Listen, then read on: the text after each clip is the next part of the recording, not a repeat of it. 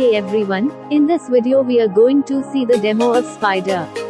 This is a microcontroller based 8 zone wired security system.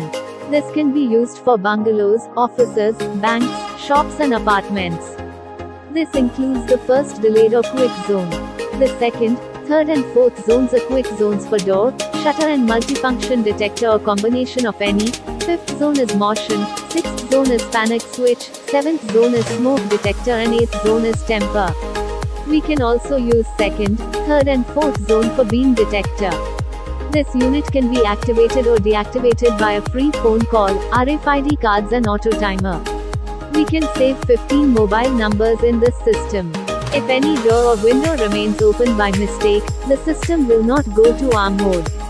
Pre-detection logic for motion detector reduces false alarm by almost 90%. Spider is CE and ROHS certified product.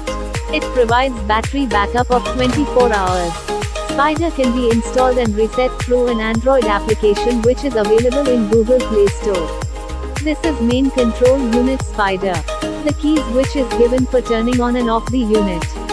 The unit comes with three indication LEDs for power, network and unit busy. Also, LCD display is given to show system status. Right now, the system is in disarm mode.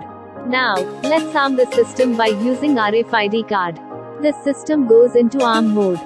See the display. The system sends SMS 1 by 1 to pre-saved numbers. Here is the SMS. The date and time at which the system is armed is also shown in the message. The door sensor is fitted to the door. Now let's open the door. As soon as the door opens, siren starts sounding. We can see the opening in zone 1 on display.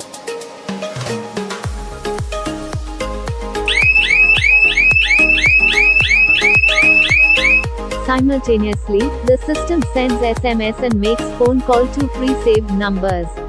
Here you can see the message opening in zone 1 with the date and time at which door was opened.